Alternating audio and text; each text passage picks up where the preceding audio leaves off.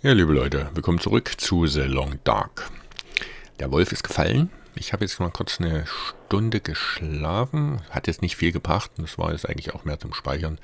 Ich denke mal, die vier Stunden werden wir jetzt noch nutzen. Auf jeden Fall zum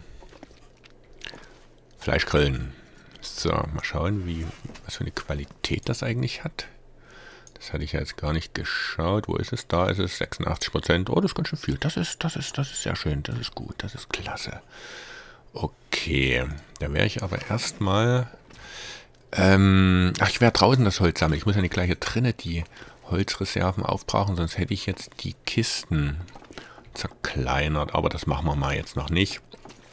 Wer weiß, wann wir das dann brauchen hier drinnen und nicht raus können. Also mache ich erstmal die Sache draußen, dann machen wir uns ein Feuer und dann grillen wir das zur Feier des Tages, würde ich sagen.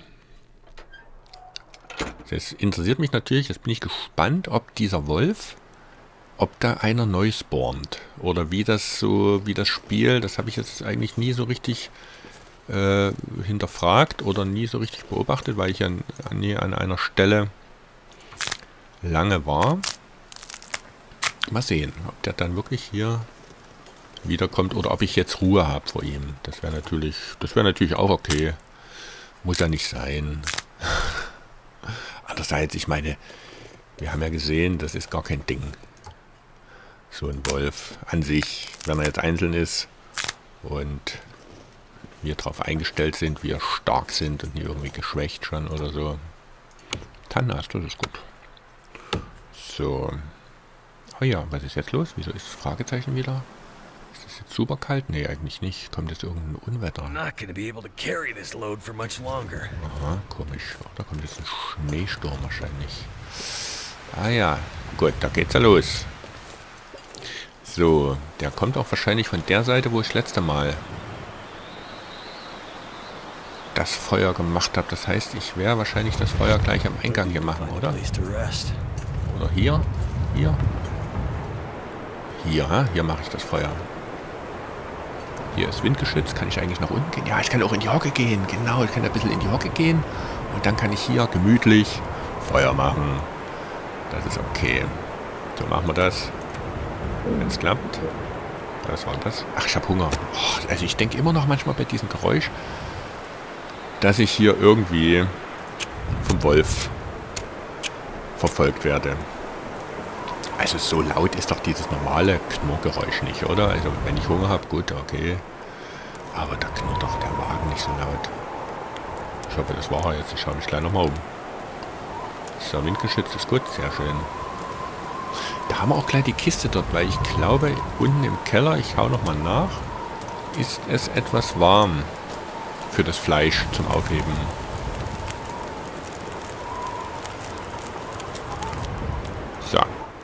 Tannenholz, Brennstoff. Klasse. So, also, in Ruhe grillen. Ausgetrocknet. Ach so, gut, okay, da müsste ich mal was trinken. Das stört jetzt auch nicht hungrig. Ja, 95% wir werden besser. Okay, ich werde mal kurz was trinken. So. Genau, dafür haben wir das ja. Das hungrig, das müssen wir dann... Oder ich nehme gleich mal das eine Stück. Damit wir fit sind hier draußen. Gut.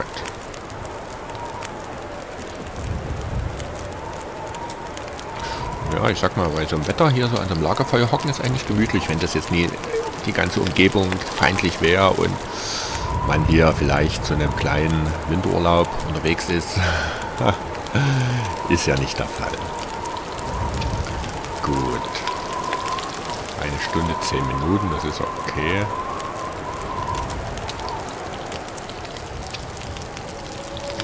So, Tageslicht, vier Stunden, eine Stunde. Oh, pustet mir das aus jetzt? Hat er sich gedreht? Oh, nö. Der hat sich, äh, das, das, der Wind hat sich gedreht. Ja, macht ja Sinn, aber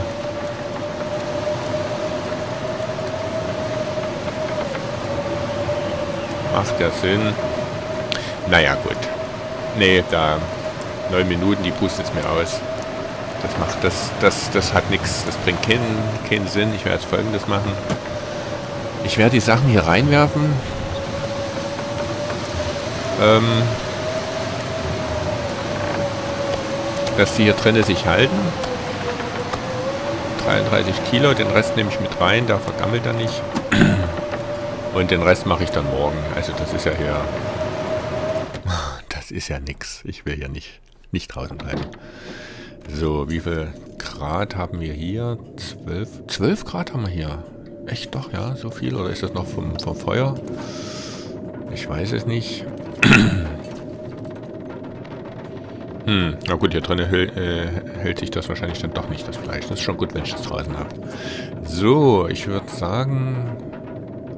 Naja gut, es ist noch hell. Es ist noch hell, wenn wir, wir, wir nutzen die Zeit. Wir nutzen die Zeit sinnvoll. Das heißt, ich schaue mal nach, meiner, nach meinen Klamotten. Das hatte ich ja jetzt noch gar nicht gemacht nach dem Wolfsangriff. Die Hose ist wieder runter. Und die Mütze? Wieso die Mütze? Ich dachte eher die Handschuhe. Und die Jacke? Ja, 56 geht auch hier rapid abwärts mit den Schuhen. Naja, mal sehen. Okay, also machen wir erstmal die Hose wieder.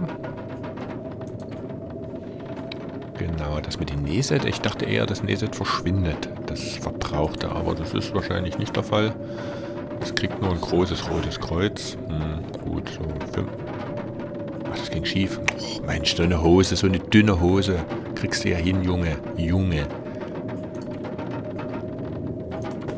Komm, streng dich mal. Habe ich, da immer, hab ich da immer den Stoff eingebüßt? Nicht, wird das jetzt langsam... Ach, das ist ja blöd. Na gut, na gut, dann machen wir noch was Sinnvolles. Wir nehmen das auseinander. Und dann hauen wir uns erstmal aufs Ohr. So, jetzt ist, jetzt glaube ich dunkel. Das heißt, wir werden jetzt auch 10 Stunden oder so denke ich mal, schlafen. 3 Grad, das ist egal. So, okay. Genau, 4 Stunden, 3 Stunden, da oben zählt es runter. Weniger als eine Stunde. Nun, das hat er perfekt gepasst. Wir sind wieder hundertprozentig fit. Klasse. Und ja, durstig und wir schauen uns das gleich nochmal mit der Hose an. Das war jetzt hier nichts. Zweimal. Ich hoffe, ich habe jetzt nicht wirklich jedes Mal den Stoff verloren. Das wäre dann schlecht. Das schauen wir nochmal an, bevor wir dann wieder weiter grillen.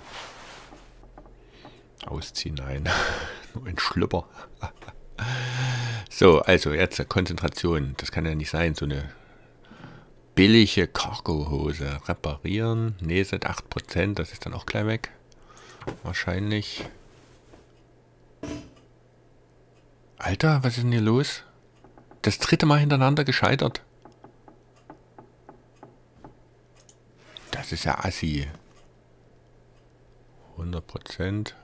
25, ah nee, ich dachte schon 25 Prozent. Also ich probiere es mal mit nee, das mache ich nicht. Der Schal, der Schal ist so schlaff und die Mütze. Machen wir mal die Mütze. Also, reparieren. Äh, ich habe ja eigentlich Reparatur von 45, ist okay. So, 3%. 5% gehen weg. Na hallo. Haben wir dreimal hintereinander haben wir es reparieren? Nee, hat nicht geklappt. Das hat geklappt. Gut, das ist kaputt. Okay. So, jetzt probieren wir das nochmal 100%. 55. Schal. Nee, die Hose. Also die Hose, reparieren. Stoff habe ich noch. Reparieren. Ach so, wenn mehrere Sets sind, dann zeigt das mir gar nicht an, dass ich ein Set brauche. Okay. Ich habe das nur ein Set. Jetzt hat es geklappt. Na gut, hat es geklappt. Dann machen wir den Schall noch. Und dann ist okay. Ich weiß jetzt nicht. Ähm, 45% Reparaturumfang. Vielleicht, ich, ich probiere das mal. Wenn ich unter 50 bin, äh, oder bei, ja, ich probiere mal, wann das nicht ganz 100 wird, sondern wann das, das Maximum, was das Maximum des Reparaturumfangs ist. Weil wenn ich jetzt sage, ich repariere schon bei 70 Prozent, für einen Stoff ist das ja auch ein Verlustgeschäft eigentlich, wenn ich 45% auch rauskriege. Da kann ich erwarten. Andererseits natürlich sinkt dann meine Temperatur, die ich davon erhalte. Also das Muss man natürlich dann immer abwägen. Aber Schal ist jetzt vielleicht nicht so wild. Das lasse ich mal. Ja. So machen wir das. So. Ich nehme mal eine Flasche mit. Und dann... Ach so, ich hatte die. Ja, die Holz, die hatte ich jetzt noch einstecken. Gut, dann machen wir das jetzt noch fertig mit dem Fleisch. Und dann schauen wir noch mal ein bisschen draußen rum. Hm. Ich kann ja noch mal kurz vorlunschen, ob der Wolf wieder da ist. Ich meine, gut, das ist jetzt nicht so viel Zeit vergangen, aber einfach mal so kurz.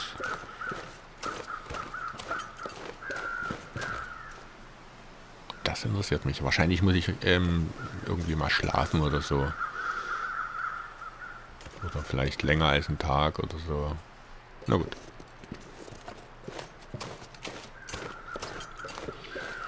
So, man könnte natürlich eigentlich auch mit einer Axt so, ein, so, so einen Baum fällen. Ne? Das müsste doch auch gehen. Dauert dann ewig, aber das wäre doch auch noch eine Möglichkeit, wo man sagt, okay, das ist vielleicht nicht gleich so ein Riesenschinken hier, aber so ein dünnes Bäumchen, wenn man Feuerzeug, äh, Feuerzeug, Feuerholz braucht.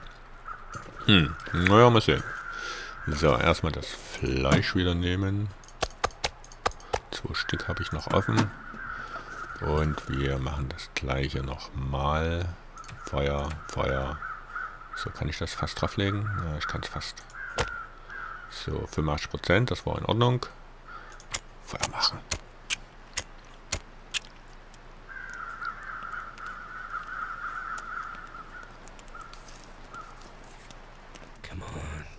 On. Jawohl. Zieh, mach es. Es ist windstill. Es ist nichts da. Also du musst das ankriegen. Das, sonst würde ich, sonst würde ich, ja, würde ich an dir zweifeln, Junge.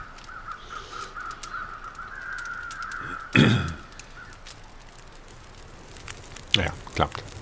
Äh, Alter, das handelt da, also, also, also bitte, hier ist, hier ist nix, hier ist nix, kein, kein Windchen, nichts. Vielleicht habe ich zu, zu, zu viel geredet, zu laut gehustet, zu, zu tief geatmet. Oh, das könnt ihr doch nicht machen. Hm? Das ist doch nix.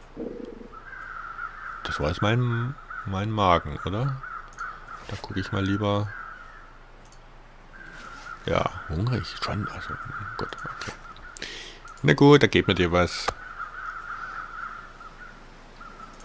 So, erstmal das. Braucht er alles? Wahrscheinlich braucht er alles.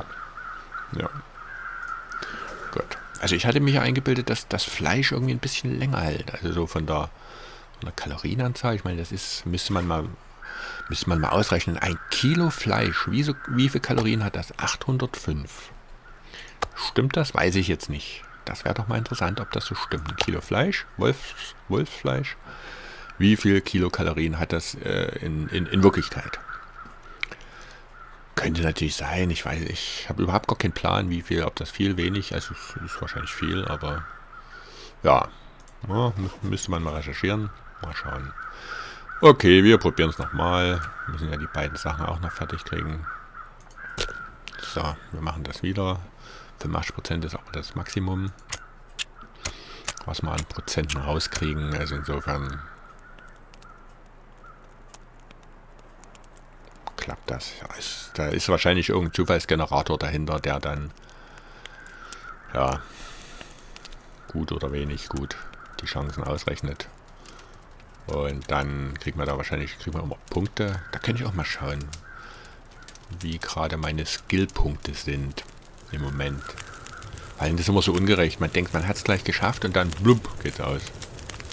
Also jetzt nicht. Alright. Alright. So.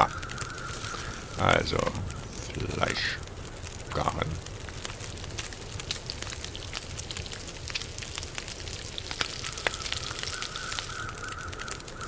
Und weiter garen. Ja, dann schauen wir mal nach, wie lange wir hier noch verweilen. Ich meine, hier ist es, es ist okay, aber das ist jetzt, ja, ich, ich habe es auch gerne, wenn man so ein bisschen drinnen sitzt am Kamin und dazu sieht. hier in so einem Keller, das ist jetzt nicht so das Dolle. Das können wir mal schauen. Also, wir haben jetzt schon, ja, wir haben schon die Hälfte weg eigentlich. Anders, ich meine, hier waren wir ja noch da geblieben, weil wir noch ein bisschen rumgeschaut haben. Das war okay. Hier werden wir wahrscheinlich nicht so viel rumschauen. Das Einzige, was ich machen könnte, das Einzige, was ich noch machen könnte, so, wie viel haben wir noch? Eine Stunde? Nee, das muss ich nutzen. Muss ich nutzen und wenn es nur Wasser ist, was ich schmelze, weil wir brauchen ja eigentlich nichts anderes, oder? Kräutertee. Haben wir eigentlich einigen Kräutertee.